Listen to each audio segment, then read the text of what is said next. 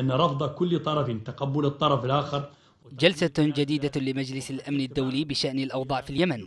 قدم فيها المبعوث الأممي إسماعيل ولد الشيخ إحاطته والتي حملت العديد من المضامين الإنسانية والسياسية والأمنية والتحديات الراهنة ومستقبل المحادثات.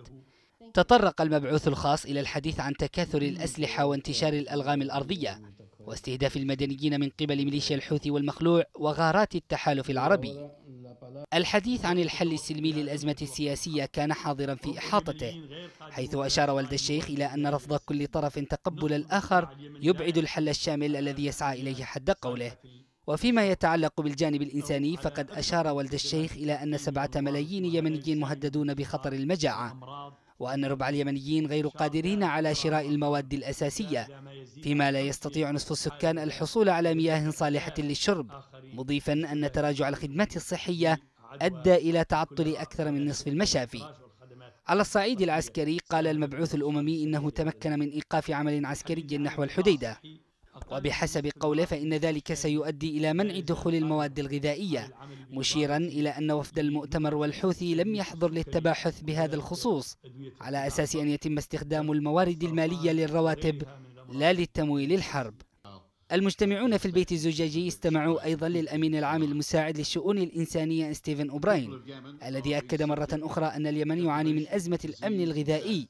وأن قدرة الناس على شراء الطعام أصبحت ضئيلة إضافة إلى التعطيلات الحادة لصيد الأسماك والإنتاج الزراعي. فيما حملت كلمة سفير اليمن في المجلس خالد اليماني في مطلعها إدانة الحكومة لمحاولة اغتيال ولد الشيخ.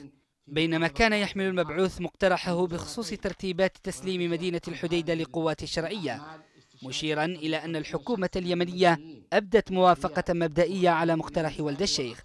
وأشار اليماني إلى الجرائم التي ترتكبها ميليشيا الانقلاب بحق المدنيين في تعز ملوحا بصورة الطفل الذي قتل بقصف للميليشيا خلال الأيام الأخيرة. لا جديد يلوح في الأفق ولا تحركات سياسية جادة لإخراج اليمن من محنته خصوصا وأن كافة الأطراف الفاعلة في مجلس الأمن فضلت الصمت والامتناع عن الكلام خلال الجلسة المفتوحة لمجلس الأمن.